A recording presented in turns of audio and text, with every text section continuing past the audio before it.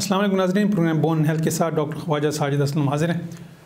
میں orthopaedic surgeon ہوں، hip knee replacements, arthroscopies, bone tumours, fractures وغیرہ کرتا ہوں۔ آج کا جو ہم پبلک اویئرنیس پروگرام کر رہے ہیں، وہ کر رہے ہیں ہم بیک ایک پہ، کمر کا جو درد ہے۔ یہ بھی آپ نے نوٹ کیا ہوگا is one of the most common problem in our society especially خواتین میں۔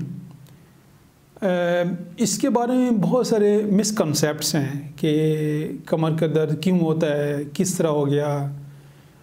جو خواتین میں، جو اکثر مسکنسیپٹ پایا جاتا ہے، جو میں نے اپنے کلینکل سیٹ اپ میں نوٹس کیا ہے، کہ اکثر خواتین یہ کمپلینٹ کرتی ہیں کہ جب سے بچے کی پیدائش ہوئی ہے، تب سے کمر میں درد ہے۔ وہ اس لیے کہ پیدائش کے وقت، کمر میں انجیکشن لگایا تھا، تو اس کے بعد سے یہ درد ہے۔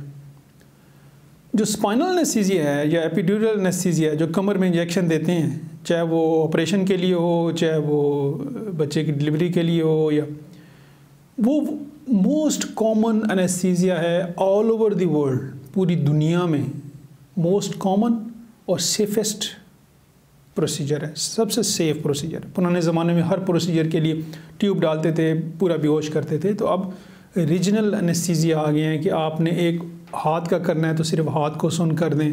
آپ نے امبلائکس سے نیچے ہپ، نی، فٹ، اینکل کچھ بھی کرنا ہے تو آپ کمر میں انجیکشن دے دیں۔ اسی طرح ریجنل انیسیزیا کیونکہ وہ سیف ہے، اس کے اور بہت سارے فوائد ہیں، وہ ہم کسی اور پروگرام میں ڈسکس کریں گے۔ تو یہ یہ موسٹ کامن انیسیزیا ہے جو پوری دنیا میں ہے۔ ایپیڈورل کا کمر کے در سے کوئی تعلق نہیں۔ انلیس کہ کسی کو ایپیڈیورل یا اسپائنل نیسیزیا کے بعد وہاں پہ انفیکشن ہو جائے، جو کہ بہت ہی ریئر ہے۔ تو جن کو نارملی دیتے ہیں انجیکشن دیتے ہیں کمر میں اور ان کو کوئی انفیکشن نہیں ہوتا، تو اس کا کمر کے درد سے کوئی تعلق نہیں ہے۔ جی۔ اب کمر کا درد ہوتا کیوں ہے؟ جو ایٹی پرسینٹ کمر کا درد ہے ایٹی پرسینٹ اس کا تعلق کسی بیماری سے نہیں ہے۔ کمر اصل میں میں یہ آپ کو بتا دوں، کمر ہوتی کیا ہے؟ بیسکلی بیک کیا ہے؟ بیک ایک تو سپائن ہے نا ہیڈ سے لے کے ہپ تک سینٹر میں۔ جو سائڈس پہ مسلز ہیں ڈفرینٹ ڈائریکشنز میں، وہ بھی کمر میں ہی شمار ہوتے ہیں۔ بیک میں ہی شمار ہوتے ہیں۔ بیک صرف مورے نہیں ہیں۔ بیک میں مورے ہیں ڈسک ہے، اس سے جو نسیں نکلتی ہیں، وہ ہیں۔ مسلز ہیں، اس کے لیگامنٹس ہیں۔ یہ ساری چیزیں اسی میں ہی بیک ہی کہیں اس کو کہتے ہیں۔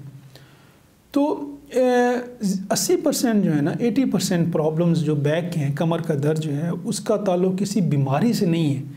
بیماری مینز کہ کسی کو موروں کا، کمر کے موروں کا انفیکشن ہو فریکچر ہو ٹیبرکلوسس یا کینسر یا ڈسک کا پرابلم ہو، یا نروس نسیں جو نکلتی ہیں، اس سے پرابلم ہو۔ ایسا نہیں، eighty percent big number eighty percent جو ہے نا اس کا مس یوز سے تعلق ہے کہ آپ کمر کا استعمال کیسے کرتے ہیں، یا آپ کمر کی دیکھ بھال کیسے کرتے ہیں، یا کمر کو کتنا آپ نے کمر کے جو پیراسپائنل مسلز ہیں، کمر کے جو بیک کے مسلز ہیں، ان کو کتنا آپ اسٹرانگ رکھتے ہیں۔ جو ٹونٹی پرسینٹ ہیں، صرف وہی پرسنٹیج ایسی ہے جو کہ ریلیٹڈ ہوتی ہے ڈسک سے، یا بون سے، جو مورے ہیں ان سے، یا جو وہاں سے نسیں نکلتی ہیں، یا وہاں کا گوشت ہے، اس سے تعلق ہے۔ ٹونٹی پرسینٹ کا rest all just misuse اچھا مس یوز کیا ہے کمر کا؟ مس یوز کچھ لوگ کہتے ہیں اچھا جی ہڈیاں ٹھیک ہیں، مورے ٹھیک ہیں۔ اچھا یہ گوشت پھٹ گیا ہے۔ تو یہ بہت سارے مس کنسیپٹس ہیں۔ لوگ اپنی زبان میں اپنے اپنے آپ کو سمجھانے کے لیے یا لوگوں کو سمجھانے کے لیے لوگ یہ یہ ٹرمز یوز کرتے ہیں کہ اس طرح ہے۔ جو مس یوز ہے کمر کا کہ کمر کا غلط استعمال کیا ہے؟ جو انسان کی کمر بنی ہے، وہ بنی ہے اپ رائٹ پوزیشن کے لیے، سیدھا چلنے کے لیے۔ جو چوپائے ہیں اینیملز ہیں، وہ چار پاؤں پہ چلتے ہیں تو ان کی کمر کا سٹرکچر ڈفرینٹ ہے، ان کا مسکولیچر ڈفرینٹ ہے۔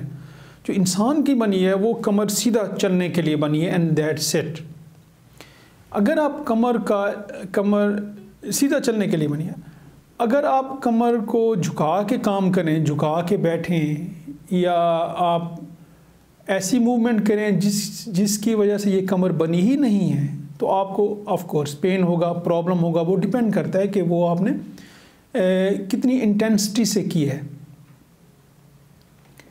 اگر تو جو آپ کا مس یوز ہے وہ وہ زیادہ انٹینسٹی کا ہے، زیادہ فورس کا ہے، تو ہو سکتا ہے آپ کو صرف پہلے مسل کی اسپازم ہو ہو سکتا ہے آپ کو ڈسک پر لیپس ہو، پھر ڈسک جو ہے نروز کو کمپریشن کر سکتی ہے، پھر آپ کو بون بیک بون کا فریکچر بھی ہو سکتا ہے موروں کا۔